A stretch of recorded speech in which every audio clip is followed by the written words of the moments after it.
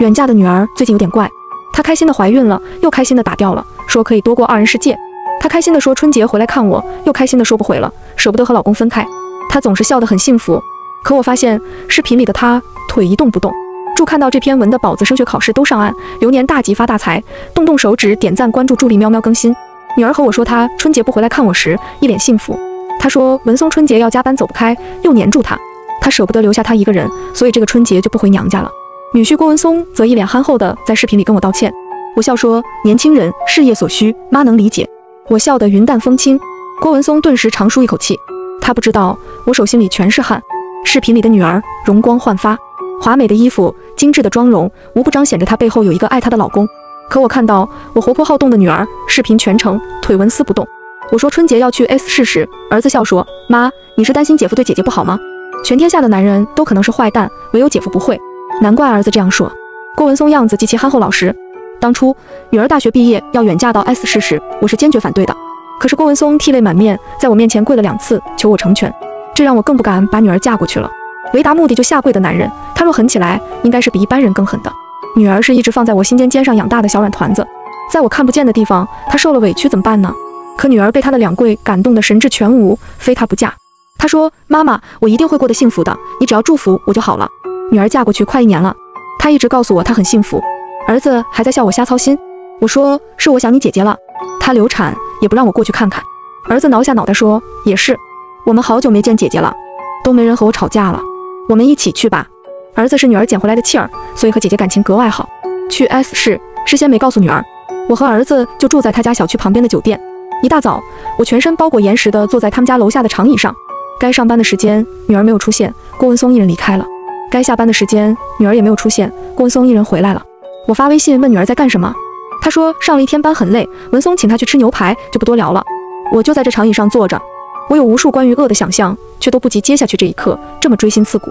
头顶突然一声怒骂炸响：“你个臭婊子！今天又想哪个野男人了？”路过的两个人抬头看了一眼，停住脚步开始聊了。看来他们是女儿的邻居，经常见这种场面，也经常这样聊着。二楼的又要打媳妇了，啧啧，那可真是可怜啊。那么好的媳妇，天天挨揍。上次双腿都打折了，不知道长好了没有？我使劲控制住自己发抖的嘴唇，问道：“腿打折了，那么严重，怎么不报警啊？谁敢报警？”那男的说：“那女的敢报警，就灭了他全家。那男的家也有点势力，谁敢惹？那女的就不反抗了？反抗了，可惨了，从二楼跳下来，怀的孩子都摔掉了。可怜那女的也没个娘家人，那男的全家都不是东西，老少一起欺负她。为什么欺负她呀？”我颤声问道。哎，我听说是她公公对她不轨，儿媳妇不从，被她婆婆和老公知道后，她公公就非说是她勾引她的，全家一起虐待这个媳妇。邻居毫不掩饰地讲着，带着某种愤怒。我嘴里沁出了血腥味儿。我听着楼上不堪入耳的辱骂，拨打了女儿的电话。我的小软团子，妈妈来救你了，你所遭受的折磨，我必将百倍奉还。楼上原本只有男人的咆哮，一直没出声的女儿突然哭了出来，道：“是我妈的电话，你让我接一下电话再揍我，别让她怀疑了，怀疑能怎么样？”他一个弱鸡有个球用，臭婊子养的臭婊子，你俩是不是一起去卖过？每一个字我都听得清清楚楚，每一个字都出自那个一副老实憨厚模样的人的口中。电话接通瞬间，我很想问一下我的小软团子痛不痛？可是听筒里女儿笑着说：“妈，你怎么打电话过来了？有事儿就快说吧。文松正给我切牛排呢。”我咬牙说：“好，那你好好吃吧。”郭文松突然说：“妈，你声音怎么有点不对劲儿？”我说：“只是有点想轩轩了。”郭文松道：“妈，对不起哈。”工程一结束，我就和轩轩一起去看您老人家。他想哄我，看来他还知道害怕。他们一家有头有脸，虽然骨子里瞧不起我们无权无势，可我作为岳母，从没做过什么让人不尊重的事，他也不敢随便和我撕破脸。我便装作什么都不知道，叹口气说：“还好你对轩轩好，我就放心了。不像轩轩他爸爸，家暴、出轨，还嘲笑我像个弱鸡没球用，拿他没办法。我不想轩轩成为没爹的孩子，就一直忍，一直忍，到最后还是没忍住。”郭文松结结巴巴道：“没没没忍住。”神神什么意思？你杀了轩轩的爸爸？我诡异笑了一声，道：“忍无可忍，就无需再忍呗。”我一气之下切了他下边，又砍断他上边。看他平时凶神恶煞的，躺在我脚边像只无头死狗。那那那你怎么没没被判死刑？郭文松哆哆嗦嗦地说着，话都快连不成句了。孬种，这就怕了？我故作不在意道：“啊，我有精神病呀，间歇式的，被他爸刺激发病的，我一点责任不用承担。不过你不用担心，妈，我现在已经康复了。”好好康复就好，那妈我先挂电话了。轩轩着急吃牛排，我笑着说好。他爸爸原来也喜欢给我切牛排，不过那刀工还是不如我。楼上终于安静下来了，落雪了。我的小软团子，至少在这个雪夜不用再挨揍了吧？我在长椅上一直坐到凌晨。我比任何时候都心疼，也比任何时候都痛恨自己。当初女儿离开时，我气得说了狠话：“你过得不好，也不要回来找我。”可我的小软团子，你就真的不找妈妈吗？你不知道，在这世上，你比妈妈的命还重要吗？当初我知道自己不能有孩子时，万念俱灰，曾想着一辈子就那样混过去吧。直到我遇到了你，你那么小小一个，躺在襁褓里，顶着阴暗后巷的寒风，冲我笑着。你是我生活中最明媚的阳光啊！竟然有人敢折辱你，那他真是死有余辜。儿子找过来问我为什么不让他跟姐姐姐夫联系，为什么不回酒店？我对他说：“楠楠，如果妈妈不在了，你记得要保护好姐姐呀。你还记得你姐姐为了保护你，拎根棍子就跟一群男的打吗？她不是不害怕，她是更爱你。妈，你都知道姐姐这样剽悍了，谁敢欺负她？让她保护我还差不多。”我叹了口气道：“她现在远嫁了，失了底气，而且你和我就都是她的软肋。人啊，被人拿捏了软肋，就没有了胆量了。”儿子探寻地看向我，我说：“回吧。”回到酒店，我洗了个澡。我知道这是我人生中最后一刻全然是干净的了。第二天一早，我又去到了女儿家楼下。朔风呼啸，大雪纷飞，四处白茫茫的一片。想起女儿第一次见到雪时，激动得又跳又笑。她在雪地里打滚，说她以后就要嫁到有雪的地方。她如愿了。可是我好后悔没有提醒她，白雪覆盖下的往往是污糟的垃圾秽土。落雪时越圣洁美丽，雪化时就越污秽不堪。她太善良了，我不忍心告诉她这世间的险恶。天还没全亮，正是北方冬天最冷的时候。女儿公公婆婆现身了，他俩急急上楼。修养良好的面庞上有着藏不住的阴鸷。一会儿功夫，楼上又响起了怒骂声：“你个贱人，你个小婊子，你个杀人犯的女儿，还立什么贞洁牌坊？”这是郭文松爸爸的声音。你他妈的敢骗我！你个杀人犯的女儿，你个精神病！这是郭文松的声音。我就看他不是个好东西，偏你爷俩鬼迷心窍。这是郭文松妈妈的声音。可就是这些人，一年前千里迢迢来我家求娶我女儿。他们是那么斯文有礼，言行举止处处显示着教养良好。他妈温温柔柔地拉着我的手道：“萱萱妈妈，我没有女儿，一直都想要个小棉袄。我一定会把萱萱当自己亲女儿的。若是文松敢欺负她，我第一个就不饶他。”我冷冷回问：“怎么个不饶法呢？”他们全家尬住了。他们根本就没想过我会这样问，也根本没想过要不饶自己儿子。可是我静静等着他们回答。半天，他妈妈说：“若儿子做错，任打任骂。”我笑笑地说：“任杀任剐，断子绝孙吧。”他们心里这不过是句狠话。而我心里，这就是诺言。所以，我的小软团子，我的小轩轩，你要记得依靠妈妈啊！妈妈永远永远都会护着你的。楼上又是一片喧嚣，两个出门买豆浆油条的邻居抬头看了一眼，再摇了摇头。看来他们都是见怪不怪了。我的小软团子，我的小轩轩，你是受了多少虐啊？让邻居听了都习以为常呢？你是怎么还能在我面前笑呢？从二楼跳下来时，你是想死还是想逃呢？孩子没有的时候，你痛不痛呢？想起你当时告诉我怀孕时候的喜悦，你是以为怀孕能从虐待中解脱吧？昨天听邻居说，二楼那个可怜的媳妇一开始怀孕时，她老公对她好了点，可是她公公过来送了一次鸡后，她老公就又开始打她了，而且打得格外狠，变本加厉的。这是个高档小区，住户看起来都挺文明，可几乎全小区的人都听到过他的咆哮：“臭婊子，你肚子里的孩子，我究竟该叫弟弟还是儿子？”有看不过去的邻居匿名报警了，可是警察来时，那个可怜的小媳妇儿什么也不敢说。感觉那个小媳妇被她老公一家泼了，楼上又传来叫骂，混合着物品破碎的声音，尖锐刺耳。我的心好痛，痛到喘不过气来。我出神地看着那扇窗户，心道：好啊，好啊，多好的一家人啊！我发点善心，让你们在春节前一家人团团圆圆、整整齐齐的上路吧。从头到尾，我的小软团子没有发出一点声音，真想现在就抱抱他，问他是不是害怕了。可是时机还稍稍有点早，飞 A 市的航班还有段时间。不过别怕，我的乖女儿。再忍一下下，妈妈给他们的新年大礼就要到了。我看到送货小哥已经上楼了，现在他们应该收到了，因为辱骂声突然止住了。接着楼上传来惊恐的尖叫，这声音悦耳，会叫就多叫会儿吧，以后也不一定有机会叫了。我掏出手机拨打了女儿的电话，故作漫不经心地问轩轩：“妈妈送了个狗头给你，你看看这个狗头熟悉不？就是高中时咬过你的那条狗，让它活到现在是妈不对。过年了，这种恶狗不配过春节，就把它宰了。”狗头肉超级好吃，好东西不能就留给你老公一人啊！记着孝敬给你公公婆婆呀！我知道他们一家人肯定会按免提的，所以我说的平和。我第一次听到了我小软团子的声音，妈妈，谢谢你。还有，你别总挂着我，我很好。你别来。我说了声好，从容挂掉了电话。女儿知道我要来了，善良的她还在担心我，所以隐晦的劝我不要过来。应该从我说他爸爸的时候，他就猜到我要来了。他是我捡来的孩子，他的人生中根本就没有爸爸。我们一家三口拼尽全力那么多年才过得像个样子，却被郭狗一家不到一年全给毁了。雪翩然落下，我坐在长椅上，静静地伸出手，雪花无声融化在我掌心里，仿佛不曾存在过。这世上有些人本就不该存在。一会儿功夫，郭文松一家三口都拿着公文包急匆匆地出去了，看来是要赶去上班了。他们面色惊恐而凝重。我看了一眼手表，飞去 A 市的航班还有两个小时。我又等了一个小时才上了楼，按响门铃，却半天无人开门。我知道女儿就在里面，我又打了女儿的电话，竟然是郭文松接的。他故作诧然道：“妈，我不小心带错了轩轩的电话。”我说：“没关系，也没什么重要的事儿，就是刚才忘记跟他说吃狗肉不能喝茶。”郭文松说：“好的，妈，我回头告诉他。”挂了电话，我顿时心急如焚。他们千防万防女儿单独跟我联系，看来女儿的情况比想象的还糟糕。我让楠楠高价去找了个开锁匠，一分钟内能开锁的那种。因为我远远看到女儿家门口装着摄像头，郭家三口从单位返回来的时间最快的要半个小时，所以留给我带走女儿的时间最多半小时。锁匠开完锁就走了，我打开门，扑鼻而来一股臭味，我喊道：“轩轩，轩轩，妈妈来了！”忽然一个房间传来了压抑的哭声，道：“妈，你快走，晚一点你也跑不掉的。”我循声跑过去，门锁着，打不开。我对楠楠说：“踹！”二十岁的小伙子两脚就踹开了木门，眼前的情景气得我血脉奋张。女儿坐在地上，两脚被大铁链紧紧固定在床腿上。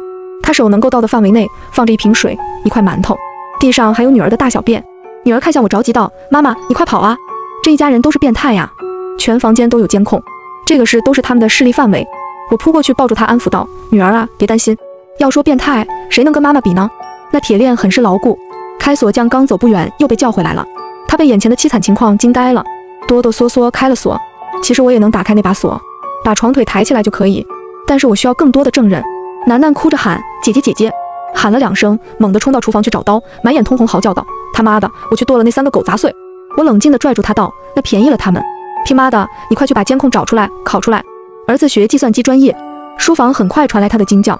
电脑里不仅有女儿受虐待的证据，还有更多不为人知的东西，这可太好了！踏破铁鞋无觅处，得来全不费工夫。看来上天都在帮我们。我雇的车也已经到了楼下。我让楠楠立即把姐姐带走，他俩还在担心我不肯先走。我笑说：“你们忘记妈妈以前是做什么的吗？相信妈妈，我收拾他们都不需要出了这间屋子。我以前是 A A 市最出名的会所领班，黑道白道都遇到过，也都躺得平完的溜。我是为了他们两个才离开会所，修心养性，成了规规矩矩的母亲的。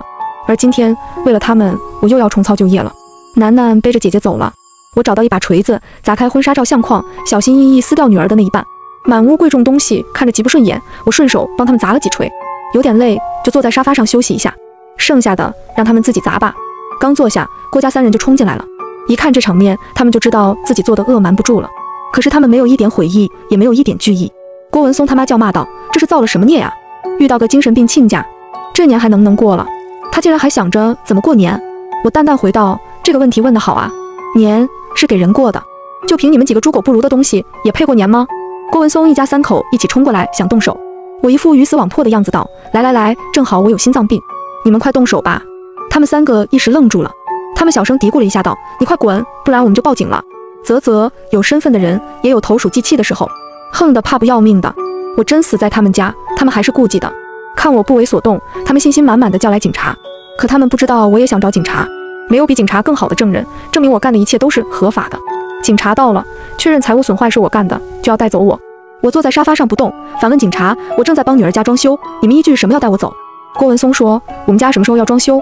你简直就是胡说八道。”警官说：“李女士，跟我们走一趟吧。”我轻松一笑，慢慢道：“女婿，你确定真的不要装修吗？一盘红叶文件夹里可是有你家要装修的文件啊！”我每说一个字，郭文松的脸色就变一变。当我说出红叶二字，他和他爸的脸色都变了。郭文松立即跟警察说：“不好意思，警官，我真搞错了。”我老婆应该是跟岳母说了要装修，我没搞清楚。我道对错不是空口白牙说了就算吧。好女婿，你要是真是装修，那就亲自把这房间电器家具这些砸得干净吧，不然好像你是在耍警官玩。郭文松红了脸却不动手。我不阴不阳道八万八千八百八十八万美元，六万六千六百六十六万美元。亲家原来是喜欢漂亮国的吉祥数字啊，这些都是郭文松记载的一些他亲爹的社会数额。郭文松和他爸一听，目眦欲裂，心虚的一起拿起工具开始打砸。他妈在旁边哭天喊地，警官看了一会儿就走了。我还坐在沙发上，那父子俩都不敢动。他无知的母亲冲过来要揍我，我无限怜悯地看着他，对那两个男人说：“怎么办？要我动手吗？”郭文松赶紧上去拦他妈，他哪拦得住？他妈跟疯了一样叫嚣着要撕了我。郭文松他爸急了，一个巴掌扇过去，那保养得体的细嫩脸皮眼瞅着就肿了起来。他妈捂着脸愣住了，你打我？你为了那个贱人打我？你被小的迷了眼？他妈你他妈的也上了？他妈好像已经有点神志不清，语无伦次了。呵呵，那去精神病院也不算冤枉吧？我瞟了一眼郭文松他爸，得了权势的老男人，被人捧惯了，一身油腻，却还是普信自己最有魅力的恶心样。我朝他脸啐了口唾沫，对着他妈道：就他还想上我？他都不如一条狗。他爸满脸通红，不敢说一个字。红叶是他的命门，是能让他丢官卸职去踩缝纫机的命门。可是他老婆不知道，还在那里捂着脸凄凄恻恻地哭着。我吼道：闭嘴！听了就心烦。就你拿他当宝，你是图他老，图他人糙，还是图他不洗澡？好歹你也是大院里长大的，怎么就被这么个凤凰男给拿捏了？真是丢人！他妈被我妈愣了，闹腾了半天，郭文松先回过神来，他奔过去看关轩轩的房间，轩轩不见了，他不禁大骇。轩轩是这一家子要挟我的唯一软肋。父子俩对视一眼，他爸赶紧打电话找人阻止轩轩离开，可惜轩轩是乘飞机离开的，飞机是郭家来不及也没能力阻止的交通工具。我交代楠楠到机场后，如果去 A 市航线来不及，无论什么航线都要第一时间乘机离开 S 市，再转飞 A 市。A 市医院我已经安排好了。郭文松爸爸接了几个电话后，就像泄了气的皮球。他知道控制不了我女儿了，看他泄气的样子，我忍不住大发善心给他充点气。郭老总，你想不到你儿子知道红叶吧？郭文松他爸爸听了，像突然想到了什么，抬手一个耳光，狠狠扇向郭文松，道：逆子，你敢算计你亲爹？一个耳光好像还不足以泄愤，他又劈头盖脸，连打带踹。郭文松的鼻子流出血来，郭文松妈妈猛地扑过去道：“你疯了，把儿子往死里揍！”郭文松爸爸一脚踢开他妈道：“就是你这个蛇蝎心肠的人，才能养出这么个白眼狼！”他妈跌坐在地上，一脸懵逼。郭文松看到被踹倒的老娘，火气也上来了，他骂道：“就你这个老不死的，你还有脸骂我吗？你仗着我老爷的资源发达了，却背着我妈玩花活，还把钱转移给小三儿！”郭文松他爸毫不客气回骂道：“你也不过是条豺狼，装什么母慈子孝？”你早就知道红叶了，却不告诉你妈，不就是为了想关键时刻拿捏我吗？不就是想抓我把柄，多捞好处吗？郭文松他妈突然明白过来了，他猛地从地上窜起来，如下山猛虎般扑向郭文松他爸，抓挠撕扯，泼妇十八般武艺全使出来了，场面那叫一个热闹。他们全然不知这时已经是现场直播了。在转移走女儿前一刻，儿子断掉了监控，所以郭家人知道我来了，但是并没见到我把女儿送走了。他们以为我们是破坏掉了监控，却不知道女儿离开后，监控连了直播。郭文松爸爸敏感的身份，小三凤凰男转移巨额财产，家暴虐待伤害，如此多 buff 叠加，直播间瞬间涌入了百万人。没有主播的直播间，三个互撕的人就是主演，弹幕全是兴奋而正义的化身。可惜这拳打得偏了一点，当爹的眼睛虽然充血，但是鼻子还是完好的。巾帼不让须眉，这名女战士果然战斗力很强，但是她明显缺乏战斗经验，骂人不够深刻，而且只会挠脸扯头发，手段单一。这个时候不是应该断了渣男的作案工具吗？我都替他着急，天哪，这不是郭总一家吗？妈呀，真看不出来，爱穿旗袍、沉迷插花的郭夫人还这么生猛。小郭总那也是虎父无犬子啊，啧啧，拳拳到肉。嘿，谁说廉颇老矣？看着虫草喂出来的身体，果然老当益壮，和儿子动起手来也毫不逊色。直播间实在太热闹了，观众扒出的信息比我掌握的还多。我端起茶，在镜头照不到的角落慢慢啜饮。茶是好茶，戏是好戏，可是还不够。儿子翻看郭文松电脑记录时，发现他详细记了他亲爹给小三儿的每一笔资产，从口红、化妆品到奢侈品牌定制包包，甚至还有两套大平层一套别墅。他爹清廉自守的形象不过是硬凹的人设，道貌岸然的面孔隐藏着一肚子的男盗女娼。而他妈常年受他爸的冷暴力，竟然偷偷养了年轻的小奶狗男模。那照片尺度真真是亲密无间，真不知道作为亲儿子郭文松看到这些照片是什么感受。看着他们精疲力竭跌坐在地上，我忍不住又要给他们喂点心灵鸡汤了。聚会所的男模果然是帅哈，以一敌十，如狼似虎，特容易满足吧？我说的声音不大，郭文松和他妈的脸色却突然煞白。郭文松他爸还不明白是什么意思，真他妈的是个笨蛋。我把一连串照片发在了他手机上。中场休息马上结束，战斗立即打响，很快就进入了白热化状态。我就说人啊，怎么能那么轻易就妥协不打了呢？还是要有斗争精神。他们打得如此忘我，都忘记了我的存在。我不得不刷一下存在感。喂，你们家到底装不装修？不装修我就走了。衣衫褴褛、鼻青脸肿的三人突然刹车了，然后异口同声地说：“你捣的鬼！”我笑笑地说：“狗咬狗，你怨路人捣鬼？我是谁呀？动得了你们这几个妖孽！他妈又扑过来就想撕我！啧啧，真当我领班是白当的？论文论武，他哪里是我的对手？我扯住他的卷发，咣咣狂扇。一边扇一边问他：“你记得当初在我家你是怎么说的吗？欺负我女儿者，任打任骂。我打你冤枉吗？”那两个想拉开我，我问：“你俩忘记了吉祥数字了？你们俩赶紧互相主动点，不要麻烦我出手。